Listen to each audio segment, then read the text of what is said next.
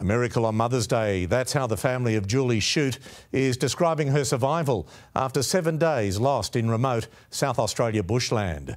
The mother of three was found wandering out of scrub this morning, 10 kilometres from where she disappeared, asking for a drink of water. An emotional embrace outside the Streaky Bay Hospital. Clifford Shute supported by mates after the phone call he'd been waiting and hoping for, telling him his wife Julie had been found alive.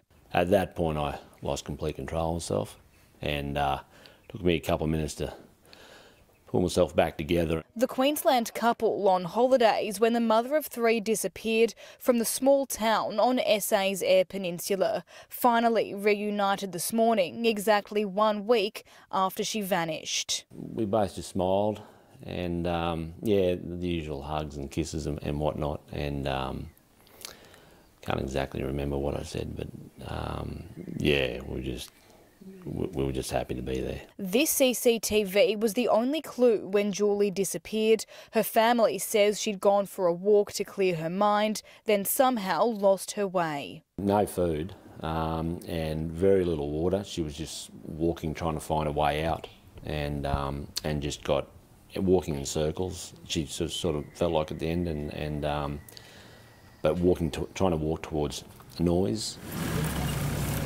A week-long search through dense bushland and properties surrounding the town, yielding no sign of Julie until today. A member of the public who was northwest of Streaky Bay to say that they had found a person wandering out of the scrub and had gone up to this member of the public to ask for water. A huge thanks. It's um, yeah, they they were on the job straight away and, um, and and just kept pouring more into it. Julie was located 10 kilometres from town, disoriented and desperate to be found. Her husband Clifford never gave up hope, describing his wife as a fighter who can conquer anything. Yeah, you had to just hang in there, and um, yeah, and because uh, because miracles always you know, happen, and and um, it did.